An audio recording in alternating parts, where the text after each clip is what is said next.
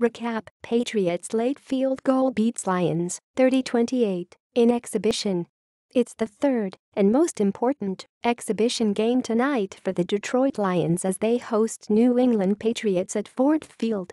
Carlos Monarrez will be along, live from Ford Field, with all the major happenings from this NFL preseason contest.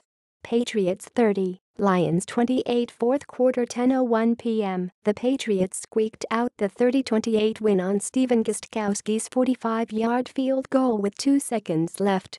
Jimmy Garoppolo led the drive that started at the Pats 32 with a 31-yard pass to Cody Hollister on the first play to get within striking distance right away.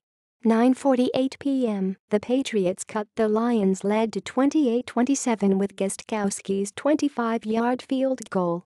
9.40 p.m., Dwayne Washington scored on a one-yard run and gave the Lions a 28-24 lead with 7.21 left.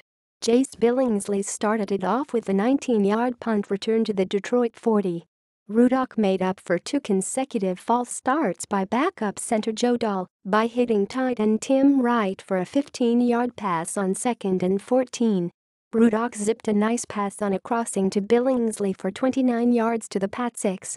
Third quarter 9.08 p.m., Jake Rudock entered the game midway through the quarter and made some nice plays, including a strong throw to Jared Abbrederis from 11 yards for a touchdown that cut the Patriots' lead to 24-21 with 3.36 left.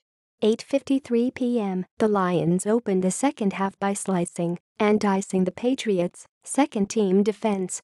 With the Brady backups in, Stafford and the Lions went 88 yards in 426 and reached the end zone on Dwayne Washington's 18-yard short catch and run from Stafford. Second quarter 8:28 p.m. Start up the presses. The Lions scored. The Lions scored. Marvin Jones scored on a 23-yard bomb from Matthew Stafford with 119 left to cut the Patriots' lead to 24-7. It was a great an efficient drive for the Lions, who went into their four-minute, no-huddle offense that started from their 20. Golden Tate and Ameer Abdullah made nice gains on short passes. 8 p.m. Stop the presses. The Lions kept the Patriots from scoring on a drive. Anthony Zettel almost sacked Brady and Jeremiah Valoaga took him down from behind on a third down scramble to end the Pats' drive near midfield 7.44 p.m., the Patriots make it 24-0 with 59 seconds left in the first quarter on Mike Gillislee's one-yard run. The Lions incurred three penalties on this drive, including on the extra point with an illegal formation that allowed the Patriots to attempt a two-point conversion from the one-yard line, which they made with 6.29 left. After the Lions managed just three yards and went three and out, the Patriots got three more points on Gostkowski's 46-yarder. 7.16 p.m., double ouch. Golden Tate fumbled on the Lions' first play from scrimmage and the Patriots recovered and took over at the Detroit 32.